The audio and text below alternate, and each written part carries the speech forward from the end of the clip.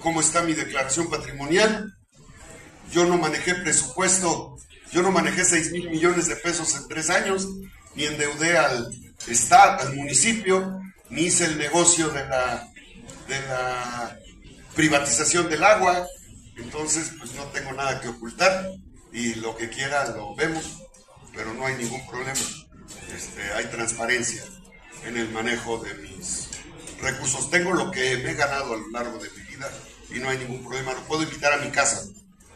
Vivo en Estrella del Sur. Desde que llegué a Puebla, ahí vivo.